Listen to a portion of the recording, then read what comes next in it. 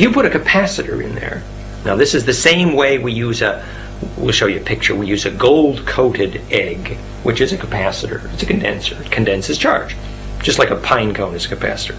If you put an electric field sensor, a capacitor, in the center of the Great Pyramid, what you measure there is what's called harmonic inclusiveness. The fact that more and more different waves of charge are able to converge non destructively in one place. And where charge waves can agree, fractal compression is permitted, biology gets happy. Now, it's not complicated. We need to understand that in strict scientific medical terms, and that's where we use the, the medical literature. It turns out that in the studies on your heart, which is the strongest source of voltage and charge in your body, that the more harmonics, the more wavelengths that are in your heart, it's called heart rate variability, the more you resist almost all disease. So literally you can predict the vitality, how long you're going to live, by simply checking your heart.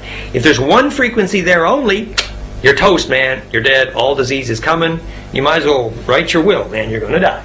Whereas, if you check your heart and you find harmonic inclusiveness there, you know that statistically all chronic disease is going to disappear. It's the work of Dr. Irving Dardick, MD, former chairman of the Olympic Medical Committee, the famous recent best selling book, Making Waves. It was originally published in Cycles magazine. He calls it super looping or perfect nesting. Lovely things. It essentially means the healthy heart is a fractal heart Except now we define that as the heart that can attract the most number of different frequencies at once. Perfect compression, perfect compassion, pretty romantic, huh? it is, except that the current state of architecture that you pointed out is not exactly in line with these principles. So maybe you could give an example of what's happening in buildings and structures that are built on proportions other than golden mean ratio. Yeah, you see, are we saying that architects don't have heart? Oh, that might be a bit insulting.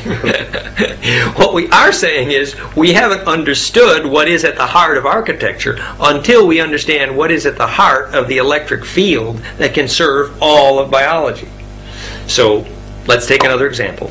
In the orgone literature, and we now know that the word orgone means recursive, self-similar capacitance.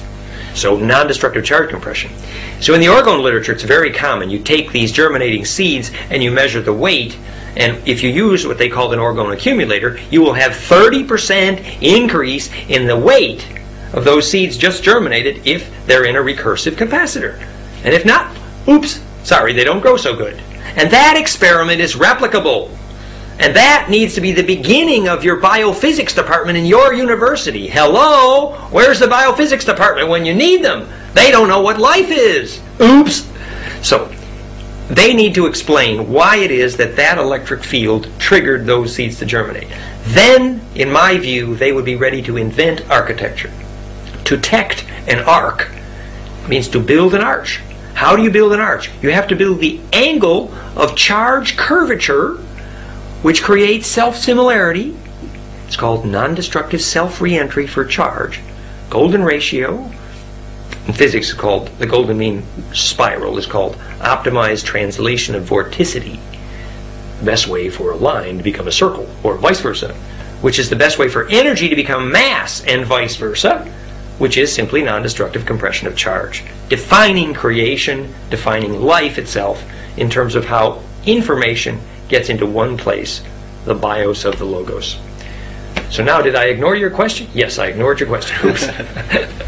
what you asked was, what is the effect on architecture when they build buildings without the right proportion? And the effects on those in them. Yes, and the effects on those in them. What I'm saying is, yes, the right proportions are important, but we must define the reason why you need the right proportions before you can start building. The right proportions are only important to the extent that they create the right electric field. It's the electric field that determines whether people are having bliss, whether seeds are germinating, whether people are getting an immune system. It's the famous story in that it was called Banking on Nature, the article by Henry McLean about the famous bank in Netherlands. We'll show some pictures. And they showed that The employee absentee rate in this bank went